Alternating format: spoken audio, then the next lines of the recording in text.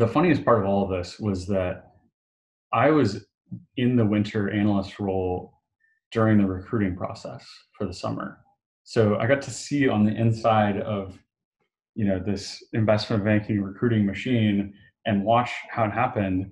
Um, and at the same time, they didn't say anything about the summer, so I was like going down to the lobby to like get on a Credit Suisse first round and like you know talk about why I'm interested in that bank.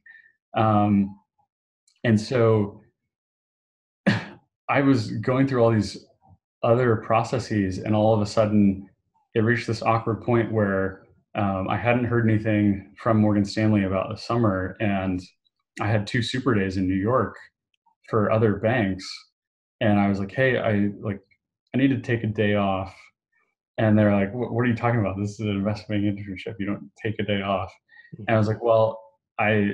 And I talked to the associate that I was close with at the time, and it's like I've, I've got super days at other banks, and like I don't know what's the deal for the summer.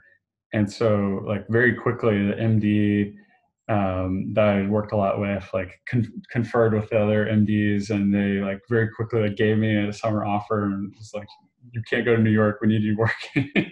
um, but yeah, I got to be there while we were interviewing for the Chicago office and see I legitimately was sifting through resumes and filtering who should be in the you know the short list. So like one of the big like realizations for me was just how imperfect and human this process is mm-hmm. and the fact that i think a lot of students early on think that they're you know going to get this careful evaluation of whether or not they're a good fit and it's really no like can you catch the attention of someone on that boat because it is leaving the harbor and you need them to toss your life vest you know? Yeah